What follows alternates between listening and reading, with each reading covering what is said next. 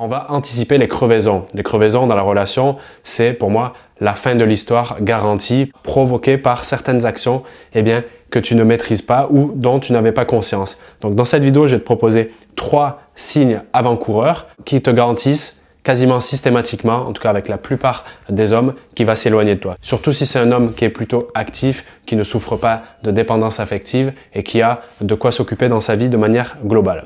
Commençons tout de suite avec ce premier signe avant-coureur qui est pour moi le fait d'activer le mode espionne.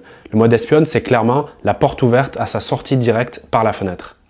Ce mode est souvent activé de façon irrationnelle, c'est-à-dire que ce sont les peurs et les anciennes blessures qui vont guider ce type de comportement et du coup qui, après, tu vas constater les conséquences qui vont être parfois désastreuses, à savoir, il va déguerpir de cette relation. Prenons l'exemple d'un site de rencontre, imaginons Tinder, tu le rencontres sur celui-ci et tu, après une nuit par exemple passée avec lui, tu cherches à savoir s'il est encore euh, connecté. Tu vas chercher son profil, s'il a encore des photos, s'il a changé peut-être les photos que toi tu avais pu apercevoir qui t'ont invité à matcher avec lui. Ça va être euh, peut-être comme d'autres réseaux sociaux, peut-être un peu moins spécialisés que la site de rencontre. Je pense à Facebook, regarder ses stories, Instagram, etc.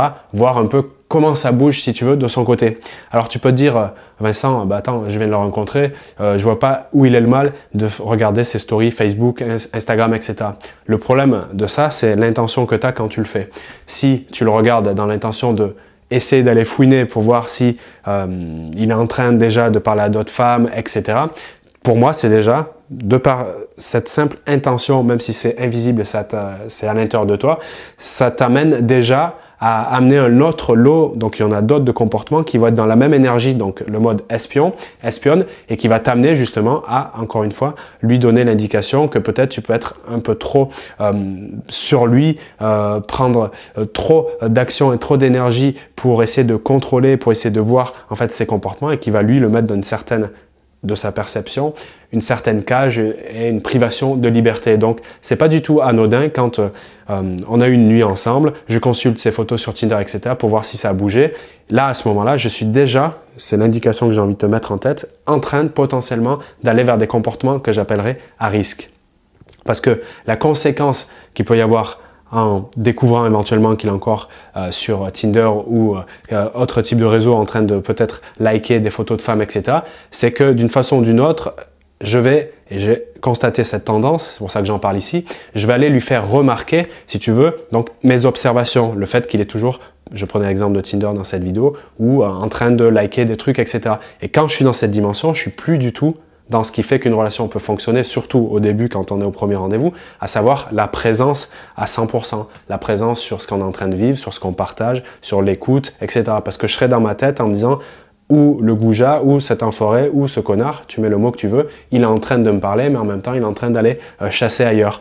Et en vérité, que ce soit vrai ou faux, c'est pas ça le plus important. Le plus important, c'est encore une fois de se connecter dans le maintenant. Parce que si lui, il ressent ça, tu feras la différence potentiellement avec les autres femmes avec lesquelles il est en train de discuter. Et c'est ça le challenge, et c'est ça le truc le plus important à mon avis pour toi, et surtout pour augmenter ta jauge de bien-être. Pour casser cette impulsion, tu pourrais te demander, par exemple, combien de fois par jour je m'autorise à aller consulter euh, ces activités sur les réseaux. Peut-être si l'intensité est très forte pour toi, que tu vas le faire 10-15 fois par jour, pourquoi pas diminuer, euh, diviser par deux ou par trois. Si tu vois de temps en temps, pourquoi pas te dire, bah tiens, une à deux fois par jour. Par exemple, euh, je te déconseille fortement le matin parce que ça va orienter ta journée sur une énergie plutôt négative, mais plutôt à partir de midi, voire à 18h, 19h, en tout cas euh, dans des pauses, on va dire comme au déjeuner ou au soir, t'autoriser peut-être à le faire une ou deux fois si vraiment c'est intense pour toi cette pulsion, mais de rester fixé sur tiens, à midi je m'autorise à regarder une minute ou deux, à 18h une minute ou deux, et le fait de faire ça, ça te, euh, ça t'engagera si tu veux aller dans cette dimension parce que tu as la conscience là-dessus de te calmer sur le mode espionne. Et à partir de là, même si tu constates qu'il n'y a plus euh, rien de très intéressant, ben c'est comme le journal de 13h et de 20h. À un moment donné, tu arrêteras de le regarder pour aller faire toi tes choix de contenu que tu regardes plutôt que d'aller subir le contenu des autres que tu ne maîtrises absolument pas. La deuxième chose que je veux te partager dans cette vidéo qui si tu le saisis, euh, te permettra d'éviter en tout cas bêtement eh bien, qu'il s'éloigne de toi. C'est comme si dans cette relation, tu étais une contrôleuse des impôts sauvage. Alors quand je dis sauvage, ça veut dire qu'il n'a pas sollicité, il n'a pas demandé que tu commences à lui demander des comptes et en plus à lui demander des suppléments en cas de retard euh, d'impayé sur cette déclaration. Alors je m'amuse un peu avec cette euh, analogie de la déclaration des impôts, mais pour comprendre et pour revenir dans le concret dans l'idée de la relation que tu occupes, c'est être, euh, si tu veux, sur euh, son dos, donc sur son dos, c'est-à-dire lui demander, checker, vérifier ce qui se passe pour lui quand tu n'es pas là. C'est une nuance que j'ai envie d'apporter. C'est pas se renseigner dans une intention de mieux le connaître, de le découvrir sur ce qui l'anime dans sa journée au quotidien, qu'est-ce qu'il a fait euh, grandir, qu'est-ce qu'il a mis en joie, quelles ont été ses difficultés, d'être vraiment attentive, euh, une vraie écoute sincère sur ce qui se passe de ce côté-là. Donc là, c'est plus euh, une vraie intention d'amour, de besoin, de considération, de le comprendre. Là, je parle plus dans l'intention de je veux avoir, euh, je veux savoir ce qu'il fait millimètre par millimètre dans sa journée. Je veux encadrer. Je veux savoir s'il n'y a pas une zone où il a une fenêtre de tir où il pourrait s'extirper de la relation qu'on est en train de faire naître pour, comme dans le point 1, être par exemple, encore une fois, à l'affût sur un site de rencontre ou je ne sais quelle soirée avec tel qui sort beaucoup ou je ne sais quoi d'autre. Donc tu vois, c'est encore une fois l'intention où tu places ton regard quand euh, tu fais la chose. D'accord? Donc, si je suis dans la démarche de contrôler, d'avoir des explications et de comprendre pourquoi il m'appelle pas à tel endroit alors que je pensais que selon ce qu'il m'a dit, de 18h à 19h, il a du temps libre, à ce moment-là, je vais au-devant de danger alors que la relation, elle est juste naissante. Donc, j'espère que tu comprends bien cette nuance par rapport à l'intention, où est-ce que tu la projettes dans la façon de lui demander qu'est-ce qu'il fait de sa vie en gros. La troisième façon d'agir qui peut le faire éloigner et que je veux te mettre en lumière ici, je te rappelle, dans le but d'anticiper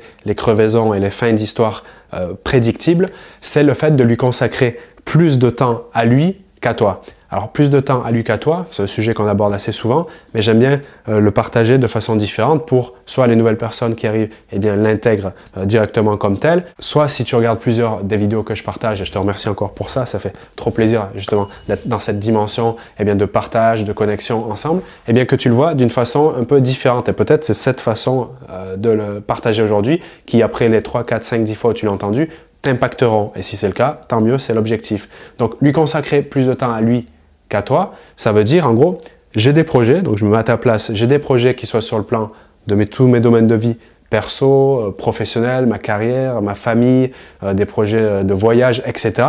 Et que je vais mettre progressivement, parce qu'il m'intéresse, en stand-by, c'est-à-dire je vais plus m'y intéresser, je vais moins consacrer d'énergie dans ces projets, alors qu'à la base, ils m'animaient, c'est ce qui me faisait vibrer, c'est ce qui me fait rayonner. Donc finalement, ils sont vitaux, mais je vais les mettre un peu en stand-by, je vais les mettre de côté pour euh, accéder à plus de euh, connexion avec lui, plus de rendez-vous avec lui. En gros, je vais euh, devenir quelque part, j'exagère un peu en disant ça, mais son sujet, c'est-à-dire que c'est lui, quelque part, qui va pouvoir décider de tout ce qui va se passer avec moi. Et c'est à ce moment-là où, en gros, je remplace des potentiels créneaux pour mes projets importants et je vais le mettre à sa disposition. Alors oui, bien sûr, il me plaît, je viens de le rencontrer, je pense à lui, euh, je suis assez excité à l'idée de le voir, etc.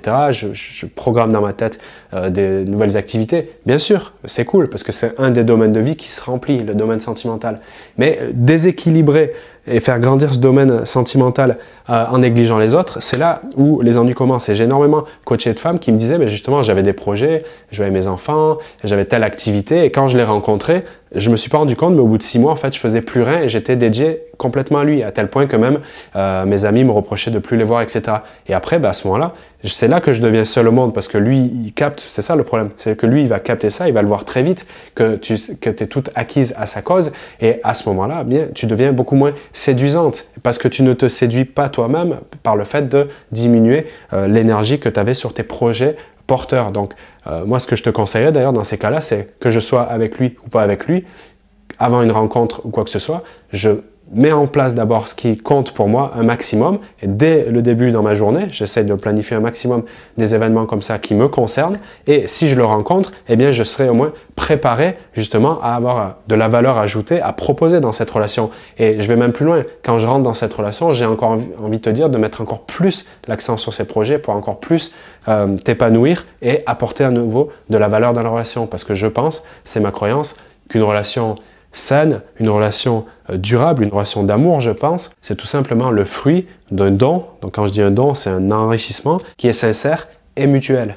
Donc si tu es en relation actuellement ou si tu t'apprêtes à faire une nouvelle relation, pose-toi sincèrement la question, qu'est-ce qui m'anime actuellement et comment je peux faire en sorte pour mettre encore plus d'énergie dans ce qui m'anime actuellement? De cette façon, en incarnant plus tes projets, ce qui est important à tes yeux, tu rayonnes dans la relation et quoi qu'il arrive, tu es toujours grandi parce que même si la relation pour X raisons devait euh, s'arrêter, tu perds pas de vue que tu améliores ta relation avec toi-même en te nourrissant tout simplement au quotidien. C'est vraiment tout le bonheur que je te souhaite en tout cas.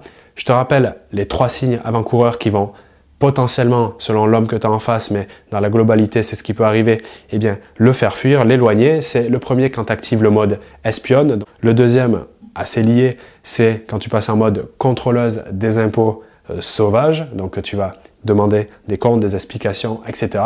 Et le troisième, c'est quand tu veux lui consacrer, ou bien quand tu ne te rends pas compte plutôt, que tu lui consacres de plus en plus de temps à lui qu'à toi. Donc, tu déséquilibres la relation avec lui et la relation avec toi. Et c'est à ce moment-là où tu vas au-devant de problèmes malheureusement. Donc merci pour ton attention, merci d'avoir écouté cette vidéo avec beaucoup d'implication et merci encore pour ta confiance. Si tu veux aller plus loin pour découvrir les secrets qui vont te permettre d'attirer l'homme dans tes bras sans jamais lui courir après, regarde à la description de cette vidéo, je t'ai créé un programme de formation offerte. Donc c'est un programme vidéo totalement gratuit. Moi je te retrouve de l'autre côté pour te proposer bien tous ces contenus exceptionnels. Et je te dis à très vite pour d'autres vidéos sur la chaîne. Salut à toi.